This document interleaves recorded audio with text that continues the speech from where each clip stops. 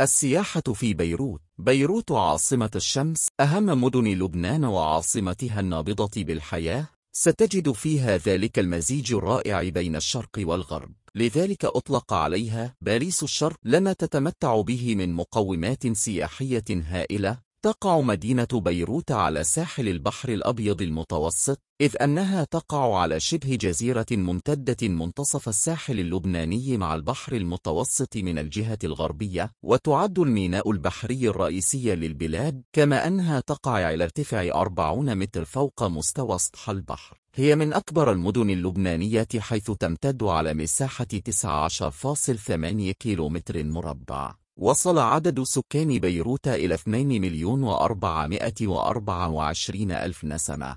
وبالنسبة للمناخ في الشتاء يمتد فصل الشتاء من شهر ديسمبر إلى شهر فبراير حيث يكون الطقس فيه باردا ورطبا بشكل عام. الصيف يمتد من شهر يونيو إلى شهر أغسطس الخريف يمتد من شهر سبتمبر إلى شهر نوفمبر الربيع يمتد من شهر مارس إلى شهر مايو.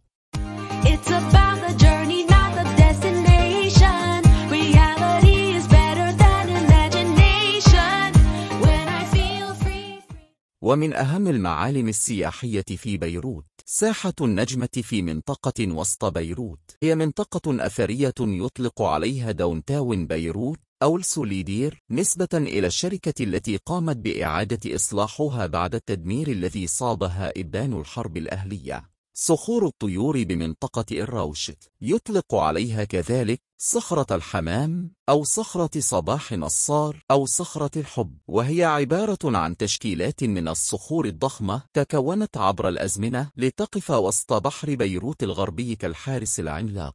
متحف بيروت الوطني يعتبر من أهم الأماكن السياحية في بيروت التي تساعدك في التعرف على هويتها وتاريخها عن قرب فهذا المتحف يعد كنزا وطنيا. مسجد محمد الأمين يعد أكبر مسجد في بيروت ولبنان بوجه عام وأجملها من حيث التصميم حيث يمتاز بتصميمه المعماري المميز على الطراز العثماني بقبابه الزرقاء والأربع مآذن الضخمة التي يمكن رؤيتهم من أي مكان في بيروت.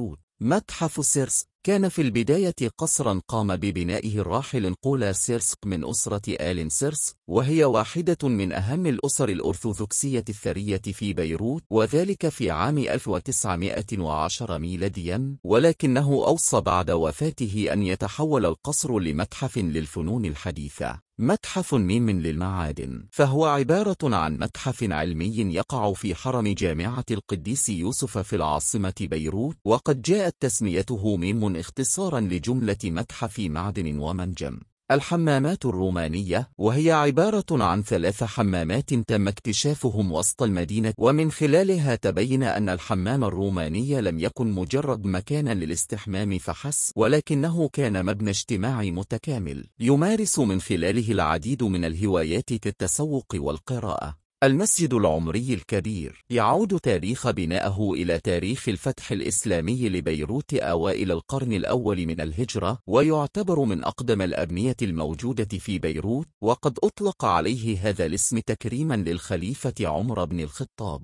ساحة الشهداء في بيروت. يطلق عليها كذلك ساحة الحرية أهم معالمها تمثال الشهداء ذو التصميم الرائع وهو عبارة عن نصب تذكاري للبنانيين الوطنيين الذين قام الأتراك بقتلهم عام 1916 ميلاديا. شارع الحمراء في بيروت. هو قلب بيروت النابض بأجوائه الصاخبة المفعمة بالحياة. يعج الشارع بالعديد من المتاجر الفاخرة التي تقدم أهم الماركات العالمية فضلا عن المقاهي والمطاعم المختلفة. كل ذلك جعل التجول في شارع الحمراء من أمتع الأنشطة السياحية في بيروت.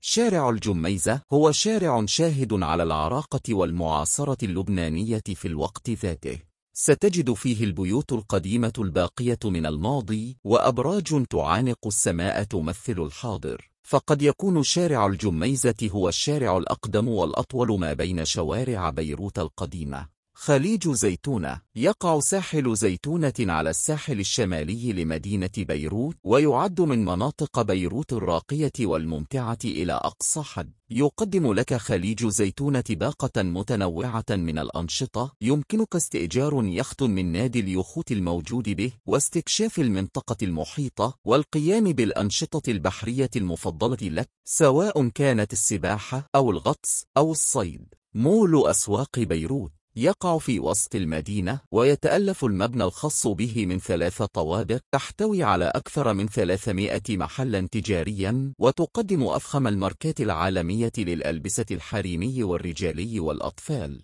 مول ABC الأشرفية بيروت.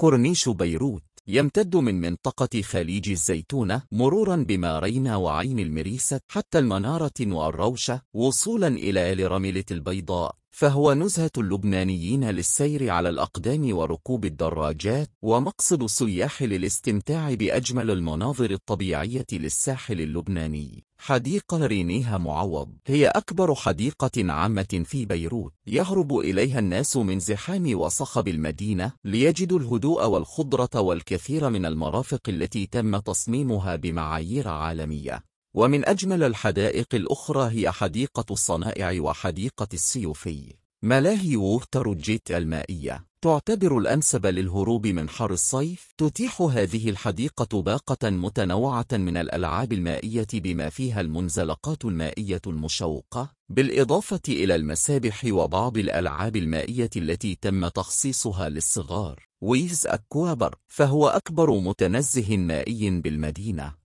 أبرزها هذا الكم الهائل من الألعاب المائية مدينة ملاهي بيروت. فهناك ألعاب كهربائية ينجذب الجميع لركوبها واختبار شعور الإثارة الذي تمنحه تجربة فريدة كهذه وتتنوع الألعاب هذه بحيث يتناسب جزء منها مع الأطفال وجزء آخر مع الشباب. ثم نأتي لأفضل شواطئ بيروت شاطئ الرملة البيضاء شاطئ سوليمار beach شاطئ فيلامار بيروت شاطئ النادي الرياضي وشاطئ الجامعة الأمريكية الذي يعتبر من الشواطئ المميزة حيث يوفر رياضات تنافسية متنوعة مثل الغوص وهواية الغطس. وهذه كانت أفضل الأماكن السياحية في مدينة بيروت عاصمة لبنان. شكرا للمشاهدة وأتمنى متابعتك لمعرفة باقي مدن العالم من موسوعة ترافيبيديا